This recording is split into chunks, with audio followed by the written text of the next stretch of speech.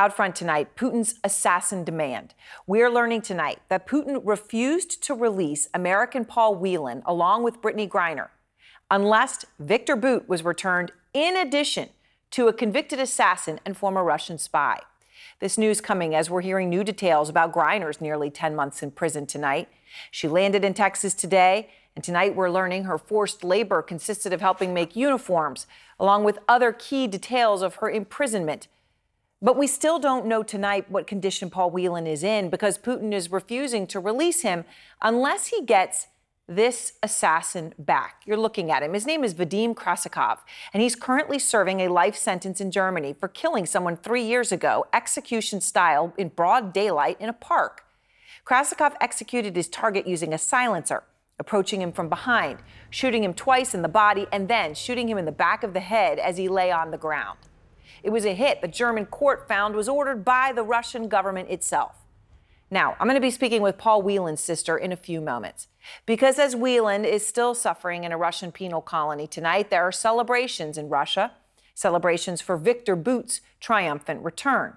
Bout freed from American prison where he was serving 25 years for his work as the most prolific arms dealer in history and for plotting to kill Americans. Russian newspapers displaying a big smiling picture of Bout across the front pages. The headline on this paper, for example, reading, Bout is happy, how the Russian businessman, that's what they call him, managed to return from prison in the U.S.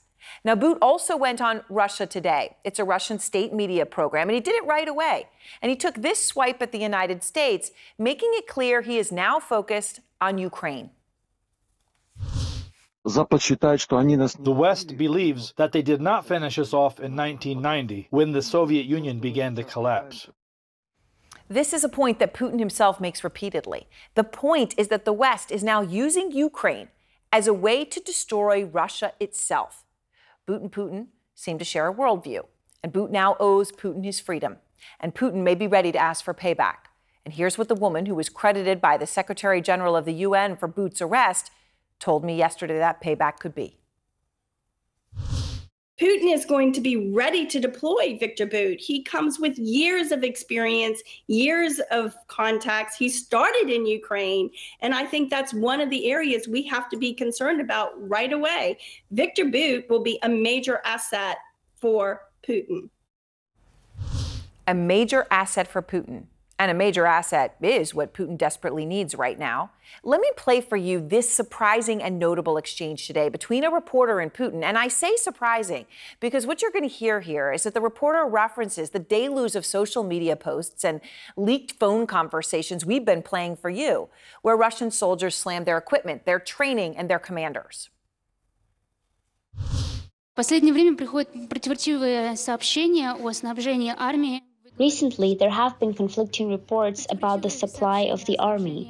You said that the problems are being solved or they have already been solved, but nevertheless, the flow of messages from the fighters from the front lines does not stop.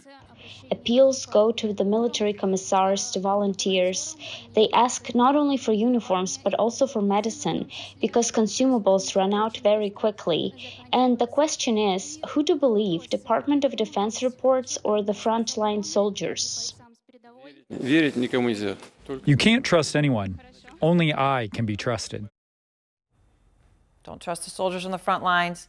Don't trust the military. Only I can be trusted. He says it with a smirk, the words of a dictator who sees only one path out of Ukraine victory. In fact, tonight, Putin said he's considering formally altering the military doctrine of Russia to allow for Russia to strike first, to launch a preemptive nuclear strike against a foreign power. Kylie Atwood begins our coverage out front tonight in Washington. And Kylie, Putin tonight saying the door is open for another prisoner exchange. Uh, perhaps referencing that assassin we're talking about, saying they want Krasikov back. What is the likelihood this happens?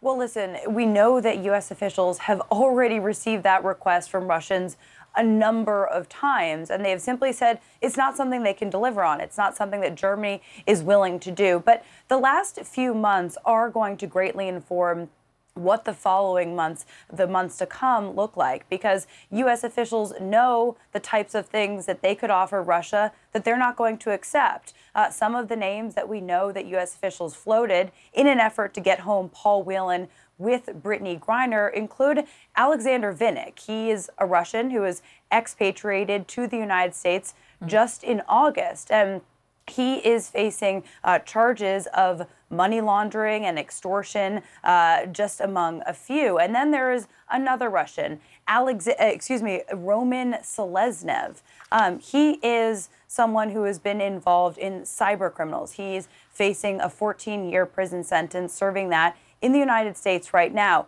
That's not to say that those names won't come up again, but they're not going to be posed to the Russians in the same form that they have in the past. I spoke with a mm. senior administration official who explained that the Biden administration realizes that they need to put forward some new ideas here, and that's what they're thinking about right now. They're trying to figure out a way forward, trying to figure out something that Russia will accept. Now, hmm. as you noted out of the gates there, Aaron, President Putin did say today that it is possible there could be another prisoner swap. On the face of it, that sounds great, but we heard uh, just in recent hours from the Deputy National Security Advisor, John Finer, who expressed some caution, saying you can't take everything that President Putin says for face value, but the U.S. is committed to trying to get Paul Whelan home.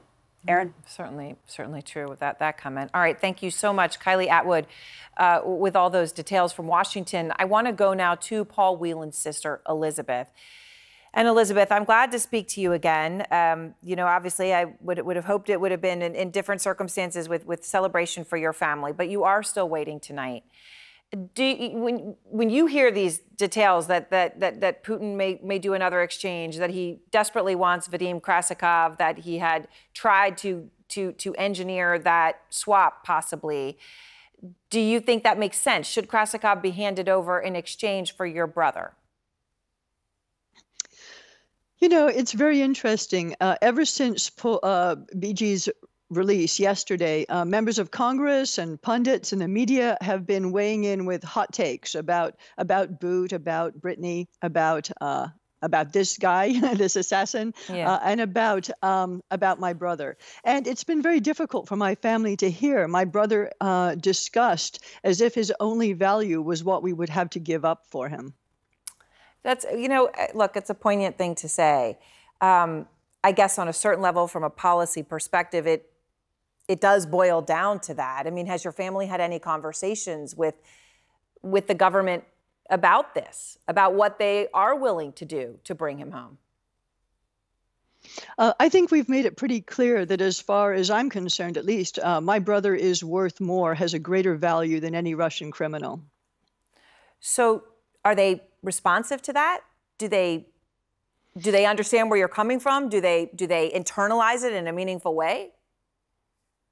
Well, I have tried uh, not to discuss Putin's gift registry, but so much. I'm not going to carry uh, the water for the Russians. If they've got a, an argument to make about something that they want, they need to make it um, through the diplomatic channels. Uh, and I expect that now BG is back, that the teams that have been working to help get Paul home uh, over the last months and years are going to hit the ground running, trying to figure out a new way to solve this problem.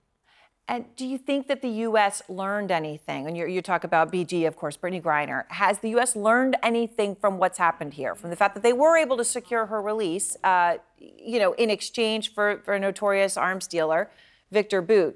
Anything that could help with securing Paul's release?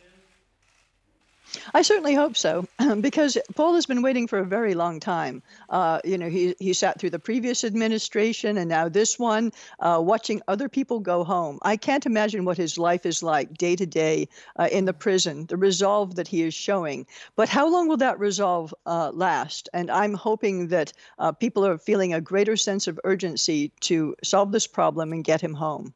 Elizabeth, I'm curious if whether in your conversations with the, the U.S. government, have they ever talked to you about why they think it has been harder to secure his release? You know, why others? You point out he's well, been there so much yeah. longer than so many others, right? And then and others come and others go mm-hmm. and swaps happen and yet not him. Yeah, uh, I mean, really, from the start, the FSB set Paul up. Um, they gave him a USB drive uh, and then arrested him five minutes later, saying that the USB drive contained state secrets. And from that point on, they uh, held him for 18 months uh, at Lefortovo prison in pretrial detention, then had a sham trial and sent him, sentenced him to 16 years for this uh, quote unquote espionage. And so ever since then, they have this is a Russian fairy tale, uh, and they have decided that because um, of this quote unquote value Paul has, that they should be able to ask for something big in return. And do you have any more or less hope tonight, Elizabeth, after the Griner swap, that, that Paul will be home soon? And I use that word soon. I know it's in, it, undefinable, but do you have more hope or less hope tonight?